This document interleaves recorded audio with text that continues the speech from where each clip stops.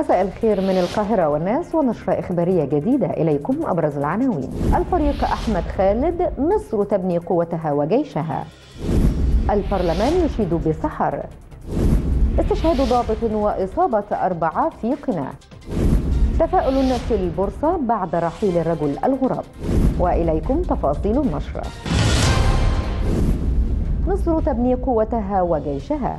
هذا ما أكد عليه الفريق أحمد خالد قائد قوتنا البحرية خلال مراسم استلام مصر الغواصة الألمانية الجديدة تايب 42 من طراز 209 قائلا إن هناك دول بمنطقتنا تم تدميرها لكن مصر كانت ولا زالت قادرة بفضل الله ورؤية وطنية سليمة على المحافظة على وحدتها بل تبني وتحدث قوتها وجيشها في ظل انهيار بعض جيوش المنطقة. مشيرا إلى أن مصر عانت على مدار تاريخها العريق من ويلات الحروب ومحاولات الاستعمار التي باءت جميعها بالفشل. مؤكدا أن خبرة الحروب التي خاضها الجيش المصري طوال تاريخه الممتد جعلته قادرا على حماية الأرض والشعب والهوية. هذا وتسلمت مصر الغواصة الثانية من الجانب الألماني وهي من الغواصات الهجومية المزودة بأنظمة تحكم في إطلاق التوربيدات وأنظمة تحكم إلكترونية للأسلحة ولديها القدرة على إطلاق صواريخ الهاربون البحرية المضادة للسفن بالإضافة إلى زرع الألغام البحرية. يأتي ذلك ضمن عدة صفقات كبرى تجعل البحرية المصرية في مصاف البحريات العالمية حيث شهدت مصر خلال عامين إبرام عدد من الصفقات للتسليح منها حاملتي الطائرات عبد الناصر والسادات من طراز مسترال. البرلمان يشيد بالوزيرة فقد أشاد وفد اللجنة الاقتصادية بمجلس النواب خلال زيارته لمركز خدمة المستثمرين بالإجراءات التي اتخذتها سحر نصر وزيرة الاستثمار والتعاون الدولي لتوفير كافة خدمات التأسيس الإلكتروني للشركات بما يسهل الأمر على المستثمرين. حيث تفقد النواب مكتب الجوازات بالوزارة المرتبط إلكترونيا بمصلحة الجوازات ووزارة الداخلية. فيما أعلنت الدكتورة سحر نصر عن إنشاء ستة فروع لمراكز لخدمة المستثمرين بالمحافظات وربطها بالمركز الرئيسي بالقاهرة. ومن الاستثمار إلى السياحة حيث قالت منظمة السياحة العالمية التابعة للأمم المتحدة أن مصر احتلت مقدمة الدول الإفريقية من حيث الوجهة المفضلة للسياح. ذلك أنها استعادت 41% من الحركة السياحية ومن المتوقع أن تحصد نحو 8 مليون سائح لهذا العام بفارق مليوني سائح عن العام الماضي.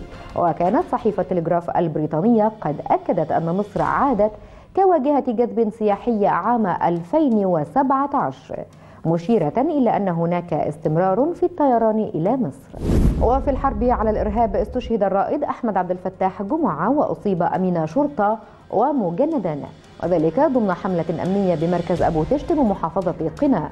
وكان ذلك أثناء مطاردة بعض العناصر الإرهابية المتورطة في عدد من الحوادث التي شملت حادث تفجيري كنيستي طنطا والإسكندرية وحادث مدينة إسنا فيما تمكنت قوة الأمن من القضاء على ثلاثة من العناصر التكفيرية خلال استهداف منطقة جبلية تستخدم معسكرا للتدريب على العمليات الإرهابية التي تستهدف قوات الجيش والشرطة وتم ضبط أسلحة نارية وأدوات إعاشة مع العناصر التي تم تصفيتها هل تصدقون في النحس؟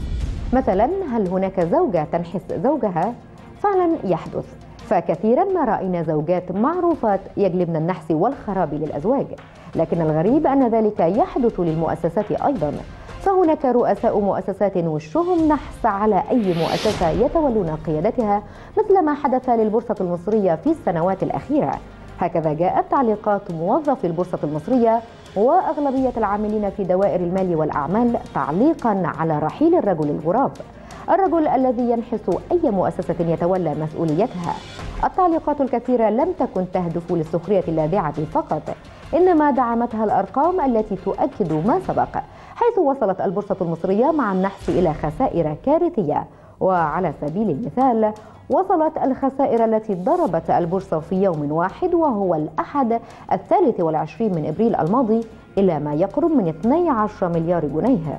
ويوم الخميس الماضي خسر رأس المال السوقي للبورصة المصرية نحو 877 مليون جنيه. وهناك الكثير من الأرقام الكارثية التي تدل على النحس.